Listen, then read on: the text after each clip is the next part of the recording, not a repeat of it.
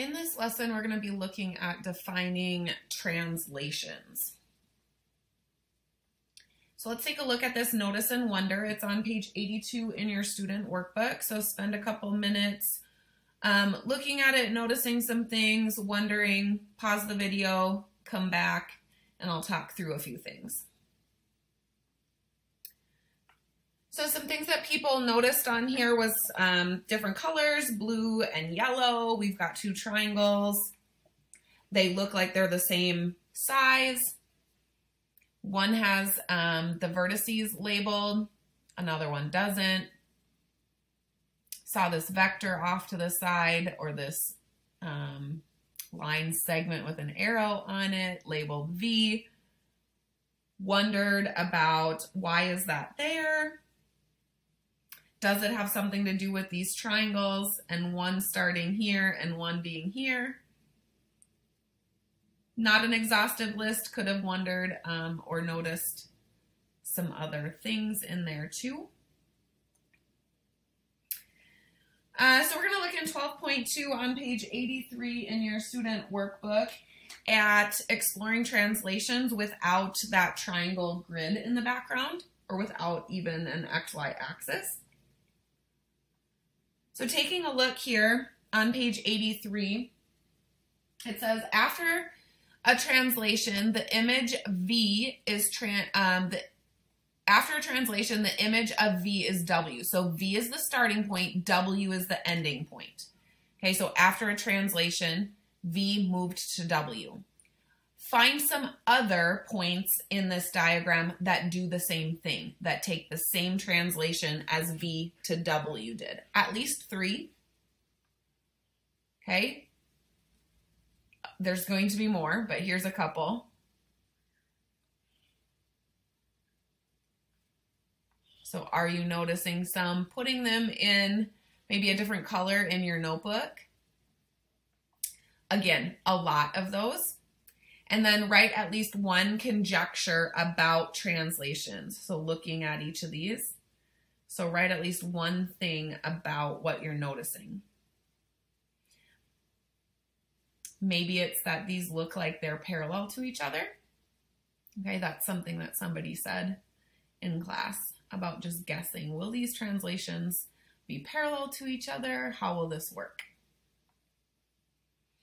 Um, so now in a new translation of V, um, the image of V is Z. So V actually goes to Z.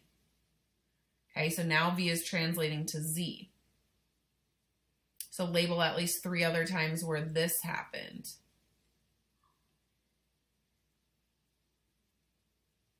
Oops, moved that one, okay?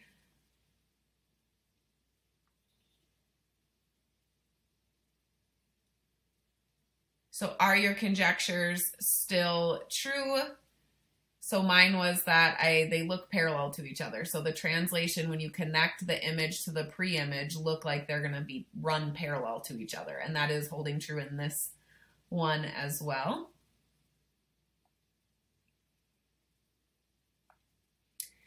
All right, so that um, directed line segment, because a vector is actually like it has a specific length, right? So it is the length from A to B. It stays the same in all of those.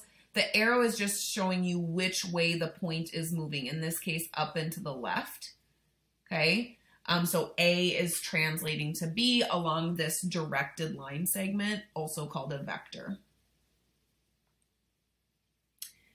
All right, so looking at activity 12.3, let's look at translating triangles. So we're actually going to look at this in your activity applet on LearnZillion. So if you will go and open that from Schoology, get your lesson 12 LearnZillion slides open. And this is on card 11, so you can just arrow through until you get to card 11, and that will get you this applet. So reading in the book, it says translate triangle ABC by the directed line segment from A to C. So again, directed starts at A, goes in the direction of C. So this line segment right here. Okay, so we want to translate all of these points using this directed line segment.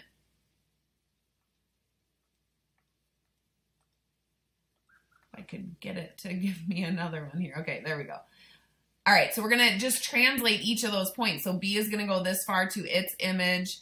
A is going to go this far to its image. C is going to go this far. So then that will get us our new triangle. Now that would be great if you had something like that in your notebook that you could just do that and come up with that new triangle. So that's what we're going to be doing in the applet.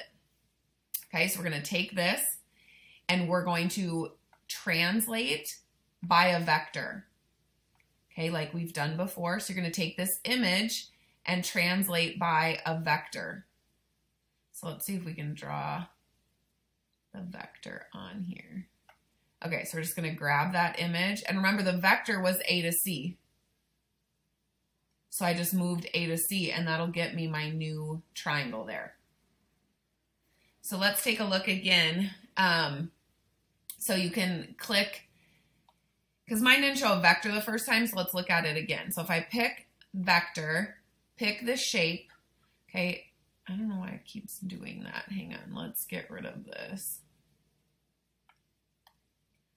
All right, let's go translate by a vector. Okay, so now I selected the shape and then we're gonna go A to C and then it'll draw on that vector. I'm just gonna delete this out because I still have those primes. So let's try one more time here. So click translate by vector, click the shape, there we go. Okay, click the shape and then click A to C and it'll move it. And then you need to copy this into your student workbook, which is going to be a little bit harder because you're not going to have, you're obviously not going to be able to construct it or do it like I did here where you can actually make sure you get those exact vectors on. What we did in class is then we took some tracing paper. Okay, so you can extend this, you can extend this line so we can lay um, our straight edge down and extend this line here so that we've got a line that goes in the same direction. So we know we're moving along this bottom segment. We traced the paper and then just moved it down to get our triangle on. So just do the best you can in your student workbook.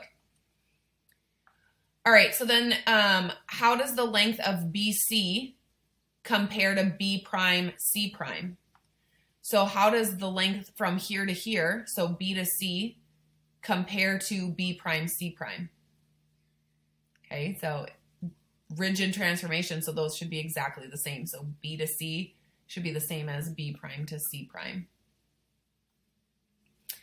Um, and then what's the, sorry, what's the relationship between lines BC and B prime C prime? So this line here, so B prime C prime, or sorry, BC so this line compared to this line, B prime, C prime.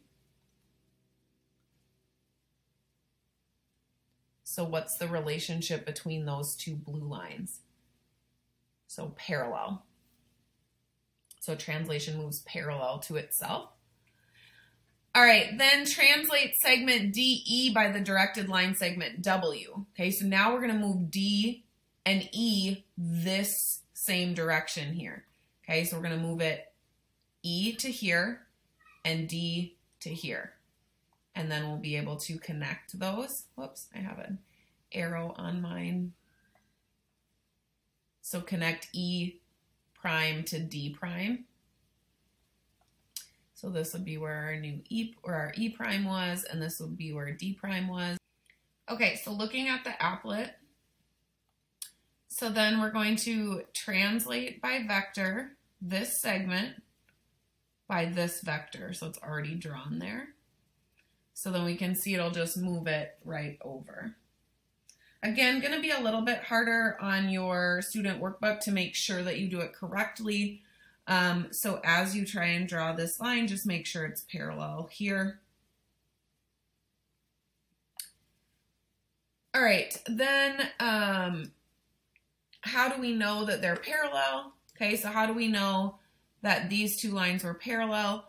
Again, because our translations move the shape parallel to its image and its the original figure to its pre-image. How do we know they have the same length? Because it's a rigid transformation. All right, so here's some um, vocab to fill in on your vocab chart. So we've got translation, that's just a type of transformation that moves each point of a figure in the same direction. Okay, it's kind of like a slide, and it moves it in the direction generally of a vector that we see, a directed segment. So we're just going to move A to A prime, this direction, this length. So the original, and we've got the image. Then we've got this parallel postulate. So given line M, point A that's not on the line, there's exactly one line parallel to M that goes through A. So we can't find any other lines parallel to M that also go through A. Parallel to M, sure. Okay, you can get other lines parallel to M, but none that will also go through A. And then a translation takes lines to parallel lines or to themselves. Okay, so it will take a translation will create from the original line another parallel line. So if we're going to pick up and translate this by a vector, the original line and the image line will be parallel to each other. And then the symbol for parallel is these two lines that look like look parallel. So we'd say line M parallel to M prime. And then on a diagram, we also have the arrows on the lines that mean parallel. So on a diagram, you'd see the arrows written out. You'd see M parallel to M prime like this. So then you also have your lesson summary um, in your student workbook that you can read through remembering everything that we talked about in the lesson, looking at moving by directed segments, that the directed lines will be parallel to each other, moving an image, an original shape to a an image. Okay, C to C prime, D to D prime, E to E prime, those will be the same length as the directed segment as well as parallel to them. Your learning targets for this lesson were that you could describe a translation by stating the directed line segment and drawing translations.